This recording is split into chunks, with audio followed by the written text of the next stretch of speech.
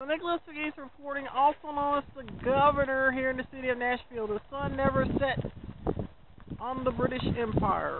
One of my favorite quotes. Nicholas Pegues reporting a corporate appreciation to the White House for uh, giving the extraordinary opportunity to document President Barack Obama in Nashville as a young Republican promoting bipartisanship. Nicholas Pegues reporting. Maybe I should say the sun never sets on the Nicholas Pegues media empire. CNN icon of Memphis. Also known as the governor. It, governor.